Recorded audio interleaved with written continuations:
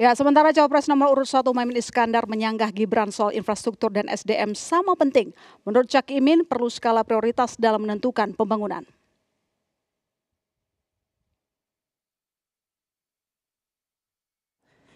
Seluruh proyek-proyek besar yang ambisius, ini IKN sebagai salah satu contoh saja, itu kalau hanya mengandalkan APBN hampir 500 triliun Padahal satu persen saja dari dari 400 sekian triliun itu untuk bangun jalan seluruh Kalimantan beres, membangun seluruh kota-kota di Kalimantan beres.